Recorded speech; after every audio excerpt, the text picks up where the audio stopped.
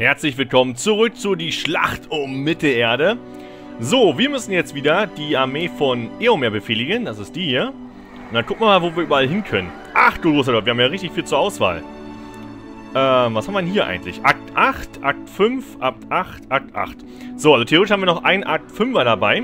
Und ich würde sagen, den machen wir auch erstmal, dass wir so ein bisschen die alten Sachen erstmal ähm, im Grunde genommen hervortun, beziehungsweise dann auch abschließen. West-Emmet haben wir schon gemacht, Ost-Emmet ist jetzt dran. Da kriegen wir dann auch immerhin 20 Kommandopunkte mehr. Die Mission könnte ein bisschen länger dauern, weil ich wieder ein bisschen die Einheiten aufstocken möchte. Plus die Upgrades kaufen möchte und und und. Das heißt, äh, In diesem Hügelland führen die Menschen Rohans ein Leben als Nomaden.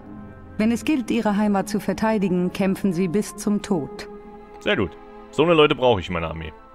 Die bedingungslos bis zum Tod kämpfen und das verteidigen, wofür ich sie ja quasi abstelle.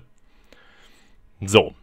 Schöne ist, wir starten diesmal gleich mit Eomers Armee, haben aber leider keine Festung. So, das erste, was wir natürlich machen, sind wieder äh, die Einheiten im Grunde genommen. Zack. Hier entlang freilassen. Wir sind im Wasser. Äh, die alle mal nach oben.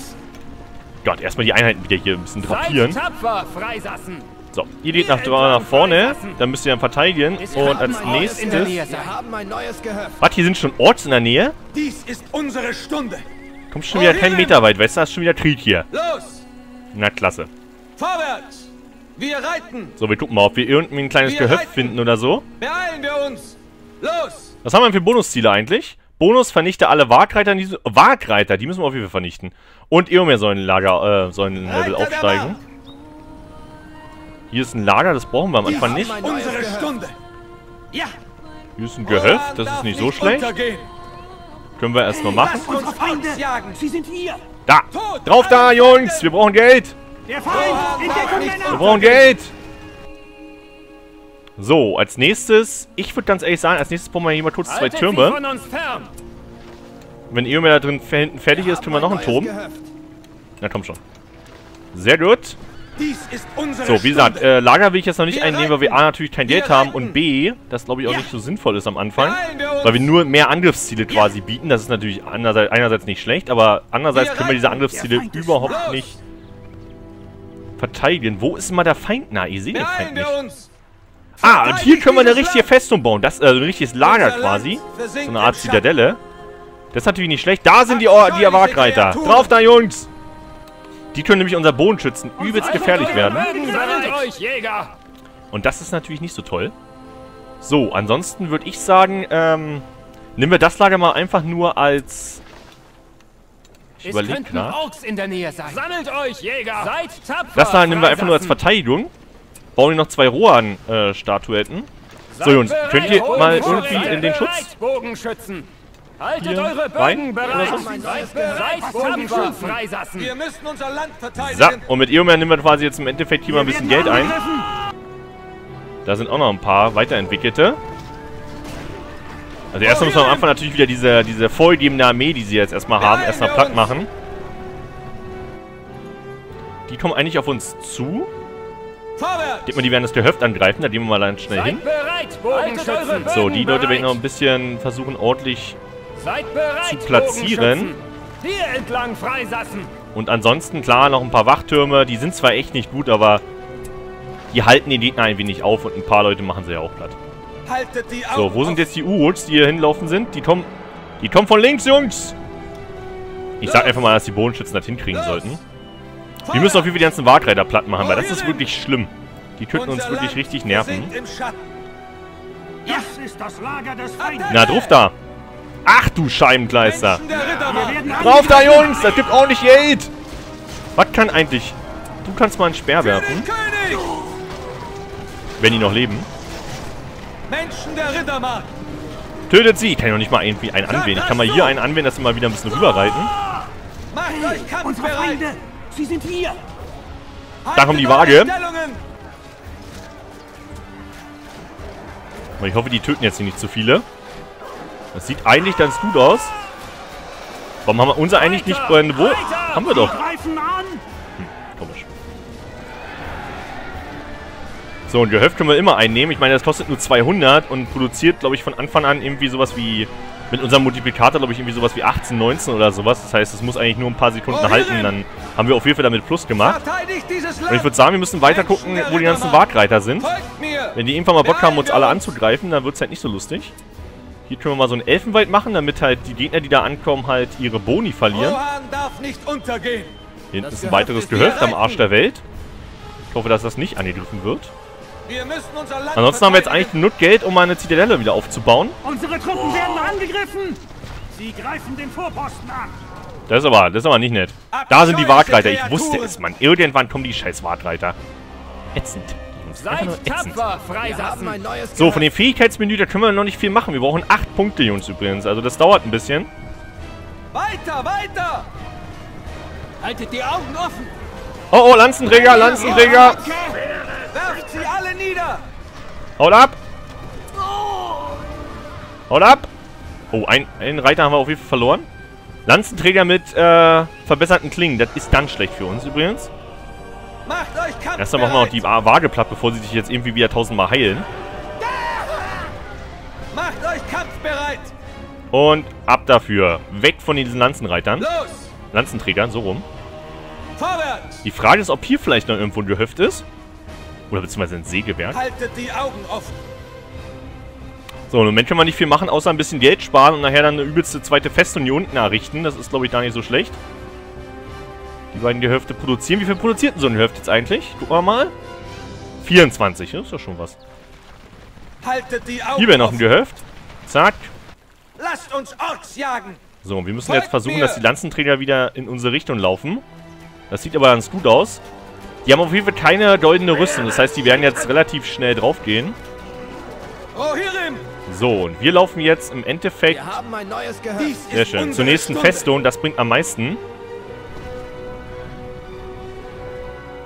Die Frage, ob wir den Vorposten einnehmen, aber dann müssen wir natürlich ein paar Bodenschützen da abstellen. Das ist ein bisschen... Dies ist unsere Stunde! Na komm, wir machen es einfach mal.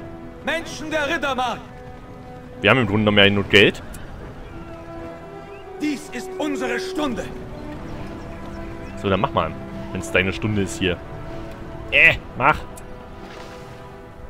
Da... Ach komm, wir machen hier eine, eine Ausbildungszentrum, also quasi eine Goldwirtschaft hier. Zack, weiter geht's. Und hier wäre dann die Festung. Die kostet auch ein bisschen mehr. Hier bauen wir mal einen... im Grunde genommen wieder die Gehöfte und hier bauen wir einen. Brunnen. Und er sieht jetzt, dass wir das eingenommen haben. Das heißt, er wird jetzt vielleicht da gleich angreifen. So, und so ein neues Lager kostet da einfach mal 2000, Freunde, ne? Muss man auch erstmal haben. So. Rohirrim! Können sich mal schon mal auf den Weg machen, weil wir, da wahrscheinlich ein gleich angegriffen werden. So, das erste, was wir machen, sind, sind ein paar Wachtürme. Wo ist der Feind? Wo denn? Scheiß Wagemann. So, überall mal bitte die Türme, damit wir uns wenigstens halbwegs hier unten verteidigen können. Und ansonsten würde ich sagen, brauchen wir auf jeden Fall noch Der die Männer! Aber wir brauchen auch ordentlich Geld. Und hier würde ich natürlich auch produzieren gerne. So, dann brauchen wir nur den Rohan-Rüstmeister. Da brauchen wir ein bisschen Geld. Und das Ding repariert sich ja von selber, ne? Dies ist unsere! Stunde! Sehr gut. Verteidigt dieses Land! Machen wir... Oh, hier ist schon wieder ein Sägewerk. Der Schießstand ist bereit! Das machen wir natürlich platt. So, das ist alles super. Hier müssen wir jetzt noch den Rüstmeister bauen. Zack, zack, zack. Rohan darf nicht untergehen! Der Feind Wird's ist nicht. unter uns, Männer! Wir Wird alles die tun. Nutzen. Das nicht passiert. Macht euch kampfbereit! Hier sind wieder diese scheiß Wagreiter, Freunde. Er ist schon wieder hier, ne? Kriegt schon wieder einen Hals. Und ihr seht, wir haben 60 äh, Kommandopunkte frei und die will ich halt nutzen. Das sind vier Bataillone. Wo denn? Hier unten oder was? Alter Schwede. Also hier in der Nähe sind sie auf viele Fälle. Kann ja wohl nicht dein Ernst sein. Oh, Lanzenträger, Lanzenträger, Bodenschützen. Ihr könnt euch mal auf den Weg machen. Reiter der Mark! Wir müssen hier auf jeden Fall weg. Seid tapfer! So, hier bauen wir auf jeden Fall einen Brunnen. Und äh, eine Heldenstatue. Was weiß ich, und ein Gehöft. Sie greifen ist an! unsere Haltet Stunde. eure Bögen Das bereit! ist das Lager Bögen. Bögen! Männer Rohans! Wo sind die Lanzenträger hin? Ich glaube, dort ist der Feind. Die bleiben da. Tapfer, Alles klar. Ist schon mal gut, dass die irgendwie aufgehalten werden durch die komischen äh, Gehöfte, die wir überall errichten. Bogenschützen! So, und die Bodenschützen ziehen wir jetzt sozusagen ein bisschen nach vorne, weil ich glaube, dass hier hinten generell, glaube ich, nicht mehr so viel passiert. Scheiße, jetzt haben die erstmal unseren Boden platt gemacht. Bogenschützen! Bodenschützen, drauf da! Schießt sie nieder! Könnten Orks in der Nähe sein. Glaube ich auch. Das Gehöft ist fertig. Schießt mit sicherer Hand! Alles klar. So, die nächsten Uruts, die interessieren mich aber erstmal nicht. Normale Uruts kriegen unsere Bodenschützen auch alleine hin. Da sind Waage. Die müssen weg. Weg damit, Jungs. So, wir können schon mal ein bisschen ausbilden. Und zwar brauchen wir ein bisschen Kavallerie. Wollen wir schon mal vier Stück ausbilden. Wir brauchen nachher eigentlich fünf sozusagen, damit wir dieses, äh, diese Weiterentwicklung machen können. Damit wir quasi äh, mit dem mit der Stallung einmal aufsteigen. Es könnten Orks in der Nähe sein. Zielt auf ihre Herzen! So, die Bodenschützen machen natürlich hier... Oh, hier oben ist noch eine Festung. Bin ich dabei. Wo ist unser uns Eins? Ach, die ist zu weit nach oben gelaufen. auch geil. Ja. So, das nehmen wir natürlich auch ein. Wir haben ja Haltet Geld. Folgt mir! So, darf ich jetzt mal die Wachtürme bauen? Oder die das nicht? So, was können wir hier bauen? Wir können ja natürlich irgendwie so einen Doppelbrunnen bauen, dass wir uns hier sozusagen heilen könnten. Ansonsten 1000 Gehöfte. Und eine Million Wachtürme. Ihr seht schon, das ist quasi eigentlich eine Viererkarte. Da es hier vier Festzonen gibt. Die andere hat dann sicherlich der Feind. Das Gehöft ist fertig. So, theoretisch sind wir jetzt hier durch. Fertig. Wir haben ein neues Gehöft. Und was wir natürlich machen können, wir können die Leute mal direkt hier zum Gehöft Gegner schicken. Ab geht er. Was weiß ich. Keilformation kannst du auch noch machen, damit du schneller stirbst. Die Leute, die wir jetzt hier produzieren quasi, die sterben einfach nur. Das ist einfach nur dazu da, um halt unsere Stallung zu entwickeln. Das gleiche müssen wir dann auch eigentlich mit den Bodenschützen machen. Das können wir eigentlich auch machen. Da müssen wir aber nur drei bauen. Haltet die Augen offen. zu kämpfen. So, hier ist noch ein Vorposten, den nehmen wir auch noch ein. Das ist das Problem davon. Und die haben das hier. Das ist das riesige Problem. Männer! Das ist sogar ein ernstes Problem. So, hier können wir auch noch einen Brunnen bauen. Zack, zack, zack. Da sind Waage! Auf die Waage rauf! Wir haben es aber ansonsten dann schon fast. Es könnten Orks in der könnten Nähe sein. Orks in der Nähe sein. Sie An greifen an! Bögen, Landvolk! Ihr seht schon, also mit. Also ihr seht schon, da sind auf jeden Fall eine ganze Menge Leute, die nicht so toll sind. Die uns mal richtig schön äh, die lang machen würden, wenn wir da angreifen. Das heißt, wir müssen uns ein wenig entwickeln und verbesserte Einheiten bauen. Wir haben also quasi Platz für vier neue Bataillone. Ich würde sagen, weil wir schon eine ordentliche Kavallerie haben, dass wir da eher in die Richtung gehen, dass wir versuchen... Seid bereit, Das ist natürlich stark hier wieder. In der Aufnahme der Wecker. Wir werden angegriffen! Haltet sie von uns fern! So, komm, ist mir scheißegal. Gehöft ist fertig. An eure Bögen, Landvolk! Ihr seht schon, also wir brauchen noch zwei Bataillone, die wir bauen müssen. Und hier müssen wir noch eins bauen. Alles klar. Wir müssen unser Land Schießt mit verteidigen. sicherer Hand! Äh, die nächsten Waage. Können die eigentlich in der Basis Waage bauen? Können wir mal gucken. Ja, können sie. Das muss weg. Die Frage ist, wo sind die guten Lanzenträger? Gerade dabei, unsere Einheiten platt zu machen. Reiter der Markt. Würde super gerne hier irgendwie... Wir haben den Schießstand Wie verbessert. können wir? Haltet So, la auf die Lanzenträger uns auf, Jungs. fern, Auf die! Lanzenträger. Die dürfen nicht ankommen. Easy. Unsere Truppen werden angegriffen! Das ist auch äh, richtig so. Seid bereit, Bogenschützen! Sammelt euch, Jäger! Haltet eure Bögen bereit! Haltet sie von uns fern! So, ansonsten können wir hier noch ein Gehöft einnehmen. Wir haben eigentlich wieder die Kontrolle über die Karte. Ihr seht es hier unten schon. Soweit läuft es eigentlich. Unser Land versinkt im Schatten. Können wir mal ein bisschen zurückpfeifen. So. Einmal das Upgrade bitte. Achso, ja, hier. Wir können auch Unsere gleichzeitig noch Truppen die Upgrade hier entwickeln. Habe ich ganz vergessen. Und wir brauchen noch ein Bataillon. Alles klar. Wir haben ein neues Schießt mit sicherer Wo, wo kämpft er denn? Er versteckt sich hier hinter dem Heuballen oder was? Auch geil. Unser Land So, und ich würde sagen, wir greifen mal, wir greifen mal kurz ein bisschen an und werden mal ein paar Orks platt machen.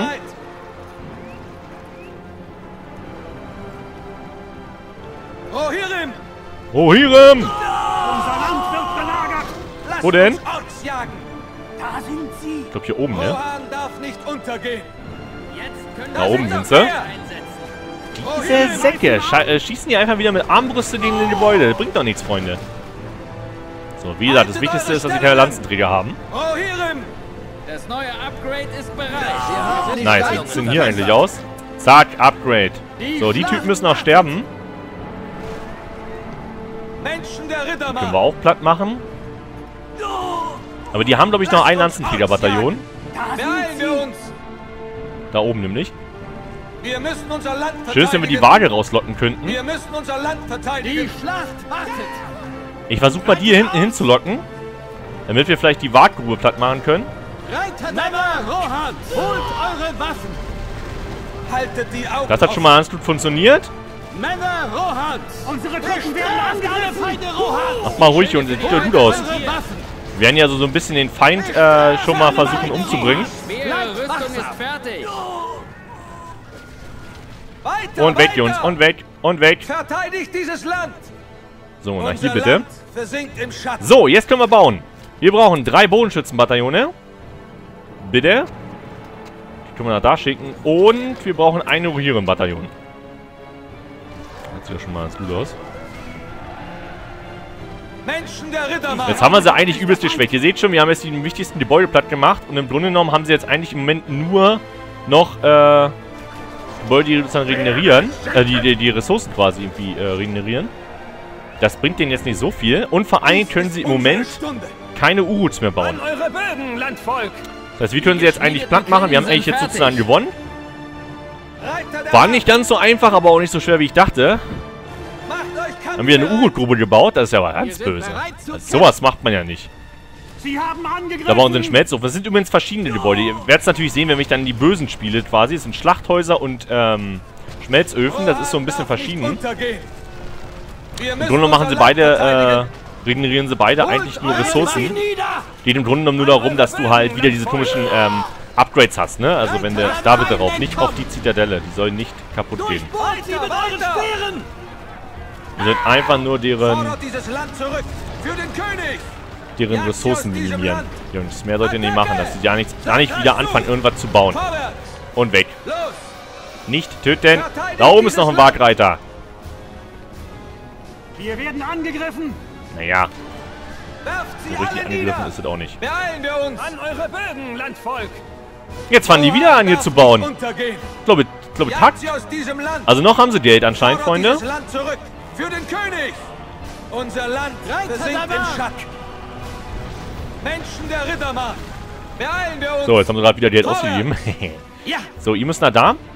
So, die Bodenschützen sind fertig. Also, zack, zack, zack. Die drei Upgrades bitte.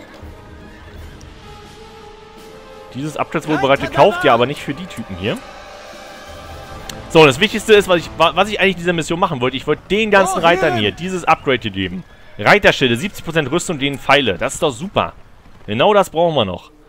Haben die noch irgendwelche Upgrades, die wir noch nicht haben? Nö. Das sieht gut aus. So, und wenn die Upgrades fertig sind, dann äh, war's das eigentlich. Wir können hier die Leute noch zusammenziehen, brauchen wir aber eigentlich nicht. Im Grunde genommen. So, und dann war's eigentlich. Hier können wir noch so ein Ding einsetzen, was weiß ich. Ach komm, setzen wir da ein, wo wir gerade stehen. Sieht doch toll aus. Das Ding können wir auch einsetzen. Bauern werden bewaffnet. das Wir haben nicht mal irgendwelche Bauern, aber egal. Lasst uns Orks jagen! Holt eure Waffen. So, die Haltet sind jetzt alle fertig, ne? wachsam. euch, wie viel Geld wir haben, Freunde. Das ist ja nicht mal feierlich. So, und das ist unsere neue Nummer 2. Bogenschützen! Schützt dieses Land! So, alle Upgrades sind fertig. Ich würde sagen, dann kümmern wir uns mal jetzt darum, dass wir die.